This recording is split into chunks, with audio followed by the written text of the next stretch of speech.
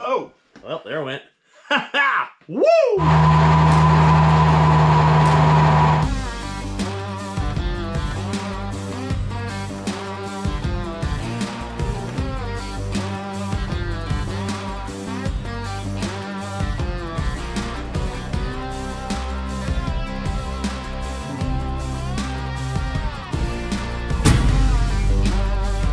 Guys, welcome back to another S10 build. Today, I'm going to pull the rear axle out and try to get this 14 bolt in.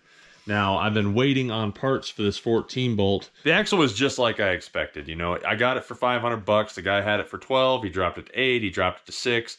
And that's when I went up and I was like, okay, I got to get this thing. And I got it for $500 with an ARB, with 513 gears, with the disc brake brackets and the disc brakes uh, and that crane diff cover that's on it. So I couldn't be upset that preload on the on the pinion bearings weren't right.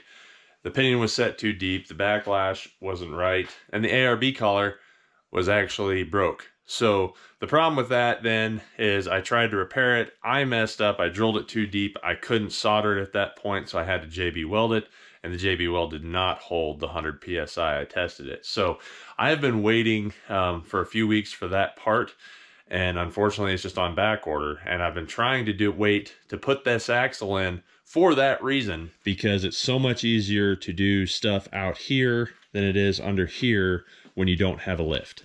I also got this thing all siliconed and I'm working on my shifter stuff. Let me show you my shifters real quick. So if you guys watch Trailmater, my buddy Rory Irish, he likes to use snap-on wrenches. Well, we're on a budget here, so I'm using, that's right, Pittsburgh Harbor Freight winch, uh, wrench, Harbor Freight wrench. And uh, that's going to be my other shifter. So it'll sit right inside with that rubber boot. And that is how I'm going to shift both my transfer cases. So first order of business is getting this rear axle out because we don't need it. You can see here right where this thing is leaking and that's because the axle tube is actually leaking around the axle tube because all these things have is just a couple little spot welds where the axle tubes are pressed in. That is why I went ahead and welded this together because that is a weak link of the 14 bolts. And I showed you guys how to do that on the Dana 60, but I did the same thing to the 14 bolt. So the easiest way to keep from making a mess here when you take your brake lines off is if you have rubber ones and you're getting ready to replace them anyway, is just pinch the rubber line off. I can take this off and all that's going to leak out is what's in here and not the entire system. Dang. May have to free that up a little bit.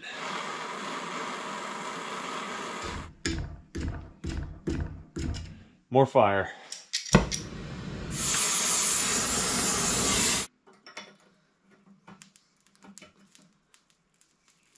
Oh, well, there it went.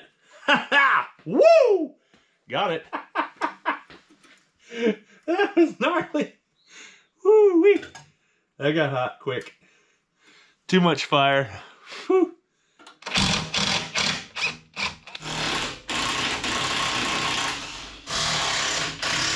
So I don't know if you guys noticed this, but when I loosened these up, the suspension actually drooped out more, which that's telling me that somebody over tightened these to the point when they actually, now that it's loose, it's freeing up and giving it more suspension flex.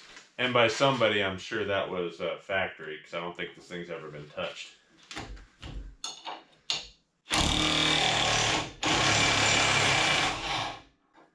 And I just dropped another inch down. Normally, if this vehicle was sprung over, I would unbolt the axle, pull the axle out before dropping leaf springs. But because it's sprung under, it's going to be easier for me to go ahead and just drop this thing out and then roll this axle over and then pull the U-bolts off, I think. We'll find out. So I don't know if you guys have noticed, but I went ahead and got some new Harbor Freight jacks. I have the off-road jack, which I use outside all the time and up in the front or anything that's tall. This thing is almost just as tall. This is their low profile three ton. This is my old jack. This jack still works just fine. But let me show you guys something. Can you see the difference here? Of how much lower that one sits than this. So when I'm having to do stuff like work on my daughter's car, that that jack comes in really handy. Plus, look at the difference of the height that this jack reaches versus this jack. So this jack not only goes in lower, but actually raises up higher, has a better reach, so I don't have to get in as far to jack it up. And it just, it works better. I didn't really think that I needed a new jack because this jack still works until I got a new jack. So I just wanted to share that with you guys. This isn't, uh, this isn't a sponsored deal or nothing. I'm not getting paid to promote this but I just wanted to show you guys the jack differences. Anyway, uh, enough with the jack stuff. I'm gonna put the jack under this axle just to help it out a little bit when I pull these bolts out.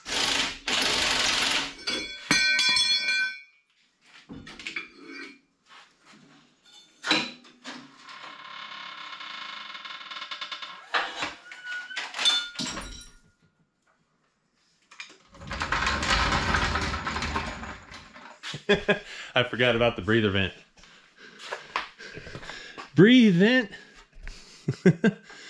Uh, maybe I'll just cut that. I'm going to want a longer one anyway. Uh, there we go. All right. Hey-yo. So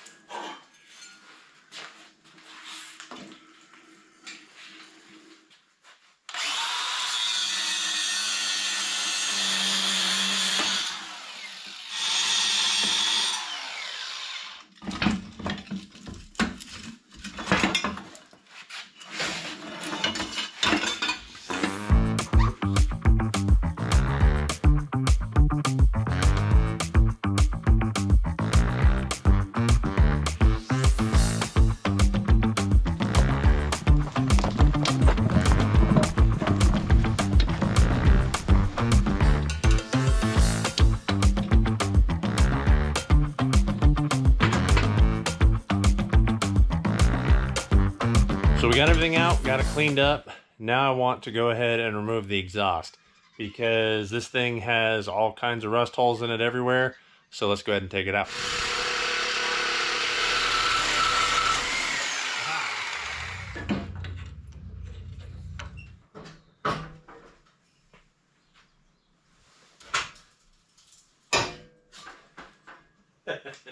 Think that one was bad?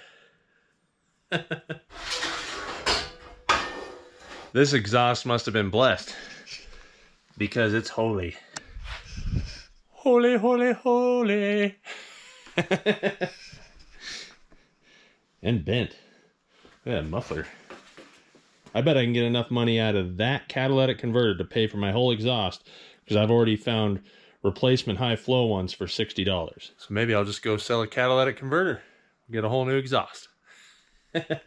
Now, normally I'd go ahead and just toss these right back in, but we're going to put these on, and these are full-length add leafs that I got from BDS. BDS is also another company that works with onX Off-Road. So if you have an elite membership, then you get 20% off on all BDS products. So I got these leaf springs for just 70 bucks, uh, $70.86. Why I like these add leafs is right there. Obviously, it's got a little more arch than these do, but that's going to help give it a little rise. Plus, when it's flattened out, it's going to go basically from eye to eye and really support this leaf spring, which is what we need since we're going to stay with the leaf springs we got. Before we go ahead and put these in, there is one thing I want to show you guys. This is a stock center pin for an S10. This is a 3 8 center pin. Um, pretty standard with most leaf springs. That is not going to be big enough.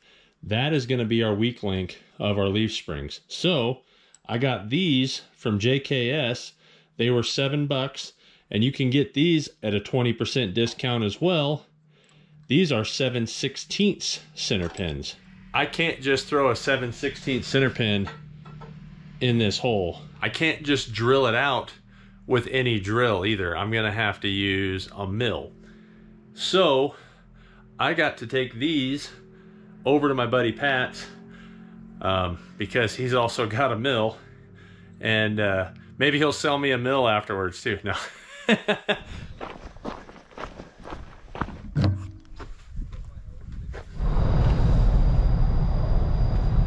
Bike path. So I had somebody ask if everything we own has a cracked windshield. Well, the Cherokee Rat's Nest doesn't have a cracked windshield because I put a new one in it. Um, hopefully that stays strong for a while, but I'm pretty sure everything else has a crack.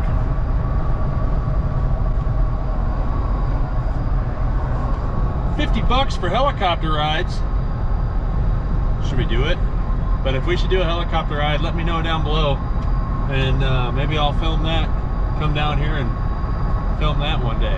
I think the reason that our windshields get cracked up here in South Dakota so quick is mostly due to our weather. We'll get 70 degree temperature swings in the same day, in the same 12 hours.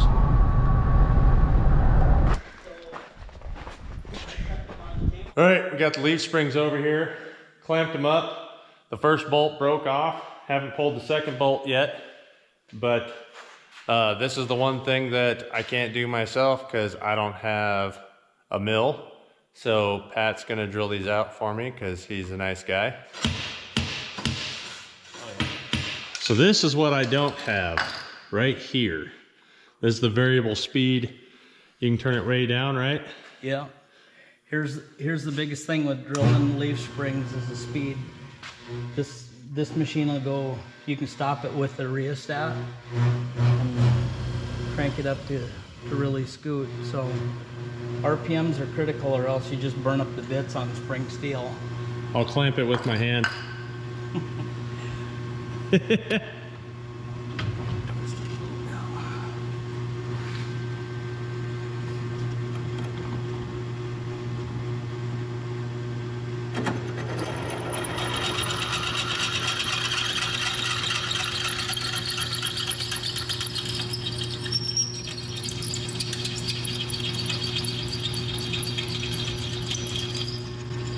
like butter. Now that doesn't happen normally with leaf springs. If you're trying to do that on a regular drill press, you just can't get enough, you can't get it slow enough. You'll just sit there and burn your bit up every time. I've tried. We got to drill these out too. Yeah. Huh, Charlie dog.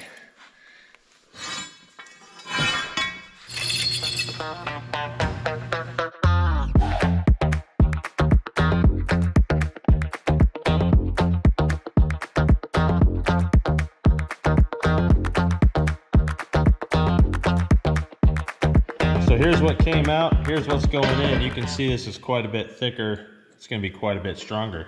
29.37% stronger, I'm guessing. What do you think, Pat? I guess that sounds good to me. Once you cut the center pin off, one of the things I like to do is go ahead and just peen this metal, basically mushroom the threads down over the nut. And that way it can't back off. Okay, so that took like, I don't know what, 10 minutes? Not long. and we just did both the leaf springs, got them knocked out, got them drilled out. Uh, one of the things, Pat even just used like a Chinese drill bit. So it, it doesn't even take a fancy drill bit. It just has to be slow speed. So uh, I don't know what you guys are going to charge me for this um, to have Pat drill these out, but uh, whatever it is, it's got to be reasonable because I could run this. I just don't want to mess up his machine. Yeah. So anyway, thanks, Pat. You're welcome. All right. Cool. Well, I'll uh I'll plan on picking you up here in a couple days then. All right. All right, bye. Hey guys, guess what? Matt's actually going to come out and help me. Yeah, I'm gonna come out and help you.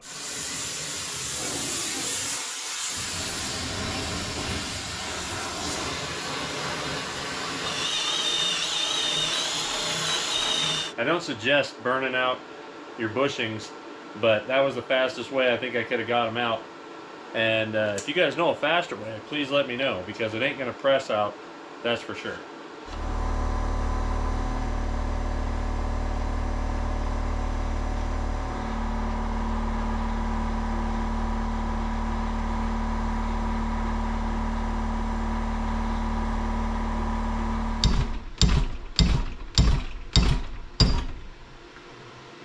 Like new. So I wanted to get new bushings for everything. I got it off of eBay from Energy Suspension for $62.49. Now we can go ahead and bolt these bad boys up. Another reason why I needed to change the center pin out anyway is because I needed to go up.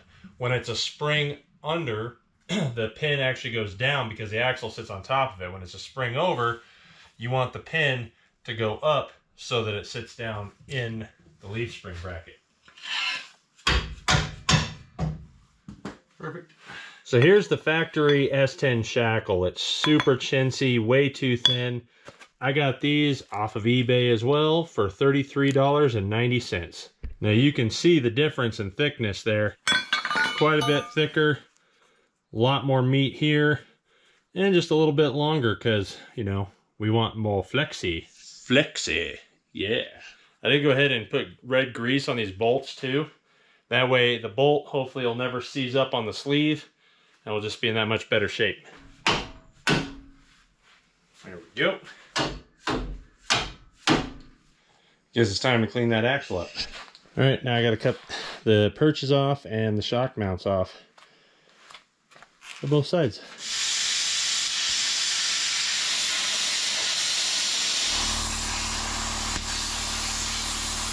After 20 years, I blew out the little um, plug here.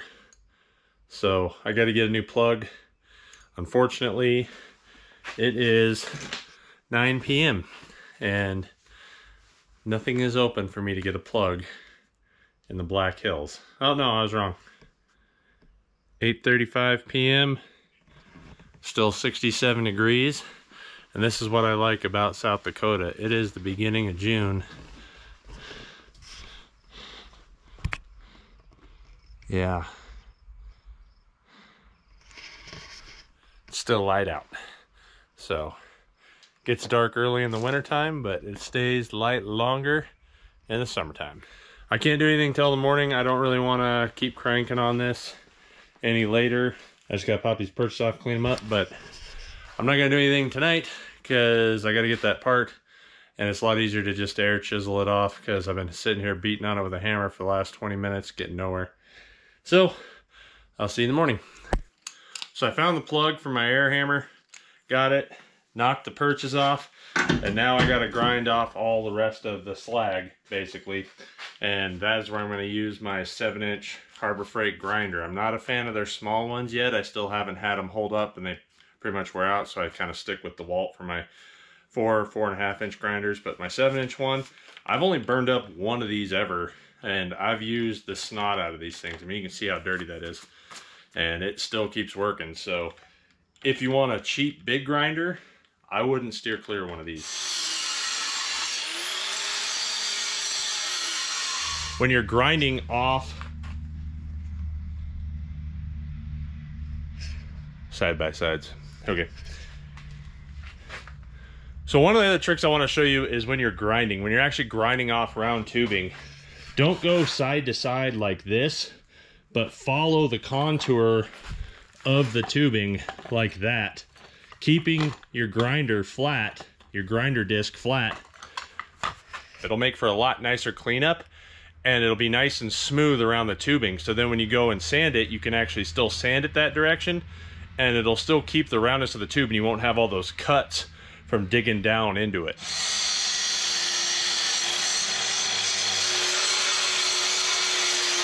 So you can see here, I don't have a whole bunch of nicks going in there. So when I do the sanding disc, I can go the same way and it'll stay nice and clean and I won't have a bunch of divots in the axle from where I was grinding.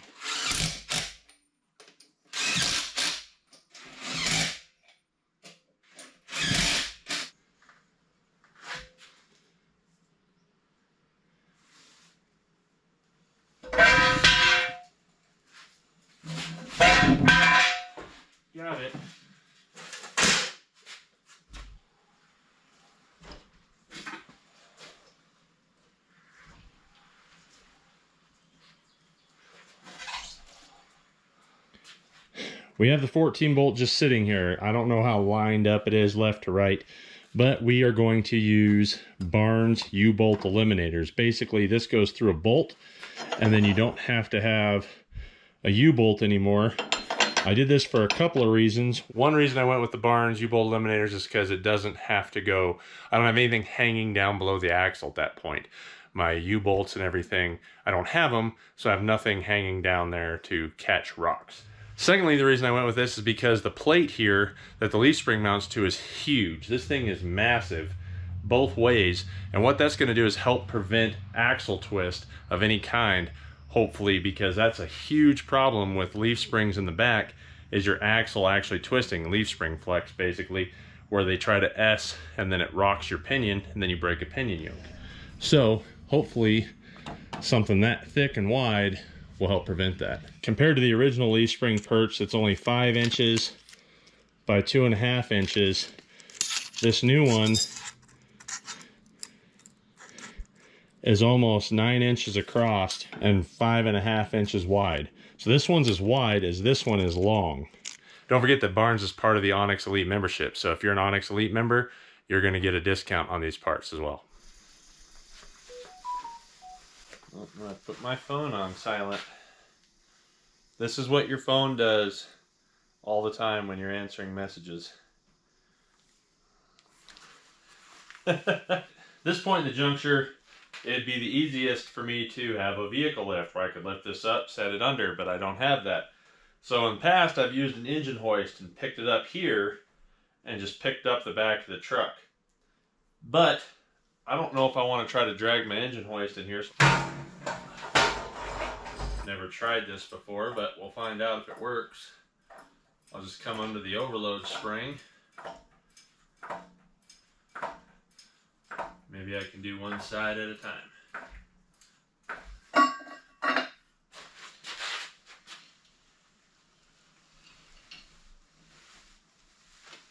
Get that a little closer. Oh yeah, that wasn't too bad. There we go. Nice tight fit.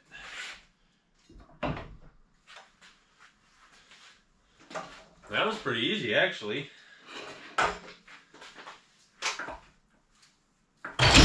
Ooh, don't go that way. Go out the front. Okay, we learned that lesson.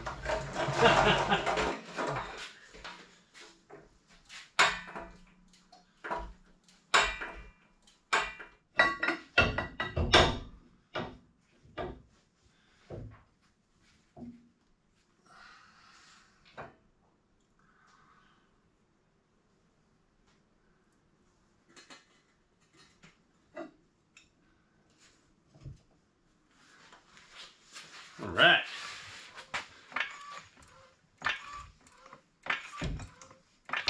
The total length of my dual cases is 23 inches.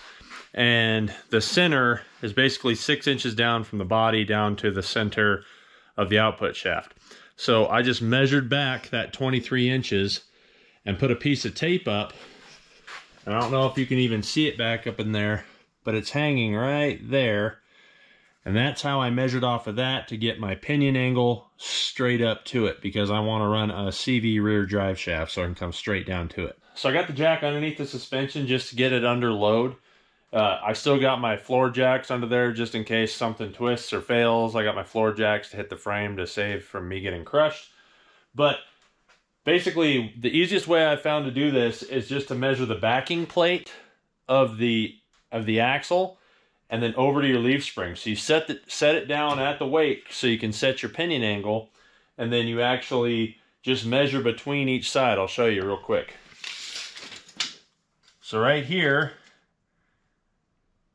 we are 5 and 3 eighths. 5 and 3 eighths from the edge of this backing plate to the edge of the perch. Now we can check this side, and this is 5 and an eighth.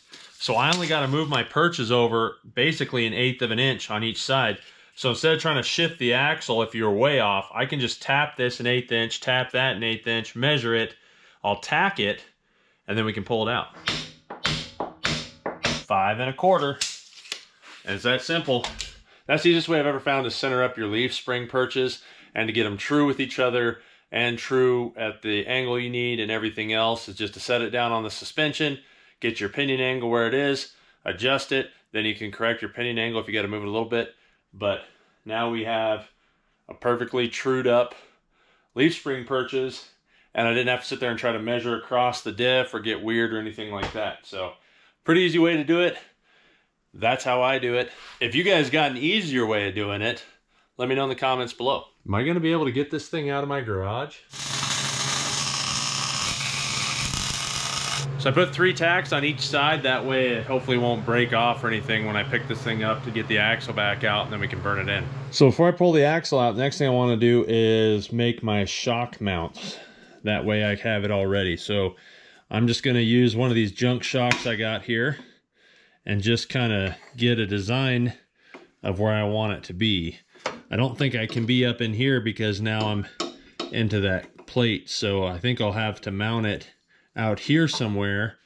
Looks like right on the edges of here is where I want my shock mount. Now I could theoretically just weld that to there, but that really wouldn't hold up very well. So what I'm gonna do here is just get this measurement, which is 29 and a half. So I know that the outside of shock mount to outside of shock mount is 29 and a half. Easy enough, right? So we'll set this here, set that there, we'll tack them in and I'll, I'll, have to cut this tube down obviously to get the right length but we get it figured out. So I cut the tube to sit fit inside the frame rails. I know that the outside edge here is where I want the outside edge of my shocks. So it's really important to, to get your shocks as outboard as possible. That's why you notice in like the JKs and the JLs they move the shocks out from where the TJs were and things like that. When this truck was built everybody thought you wanted to bring your shocks in put them like that because you could get more flex out of them. But the problem with that is then you get a lot more sway out of the truck, just like this. A lot more sway. So, so you want your shocks as outboard as possible, and that's going to keep your rig as stable as possible. This original shock mount's already here perfectly for me, but now I just got to cut this chunk out so I can roll the shock tabs down. I'll probably flip it over, but that's no big deal.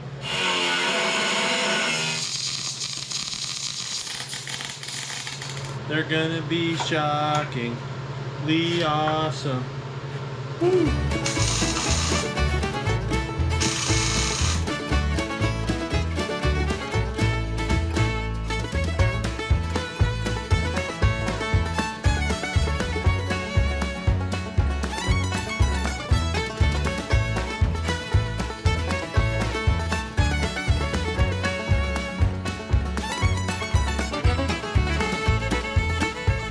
So we got everything welded up. There's one last thing I want to do before we paint this thing and put it under there for a final install under the truck. This is one thing that I cannot stand about a 14 bolt. And on the back side, look at how deep my finger sits here. That's a full inch, easy, that it comes in. There's a big lip that's just gonna catch all the rocks. And that's one thing that my teammates aren't really thinking about is rock crawling. And that is a huge thing with the 14 bolts, with the Sterlings, with all the big axles, is you want to shave that base off and get them nice and smooth so you can slide over them rocks.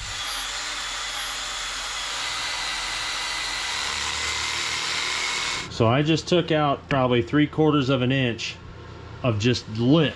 So I just gained three quarters of an inch of clearance at my lowest point of my axle. And you can see there's still a little lip here.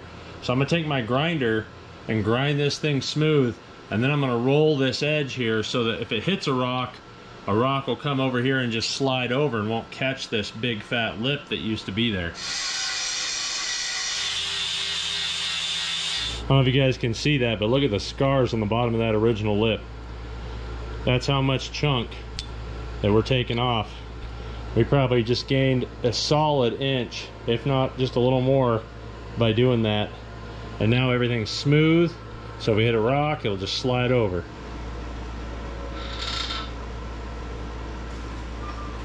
It's off the jack stand. Anybody out there make stickers? I need a rad stamp sticker. I need a stamp that says rad so I can rad stamp this thing because I'm stoked. You guys voted. You guys said keep the wheelbase at 126. So the wheelbase is 126. Uh, I'm really stoked on how this thing's coming together. I want to get it out. I want to try to get the brakes done so I can at least roll it outside and let you guys see it outside. I think I'm calling this video because tomorrow I gotta go pick up Matt, uh, which also means I gotta go pick up some Dr. Pepper. But anyway, if you guys like this video, check these out. Thanks for watching. See you next time.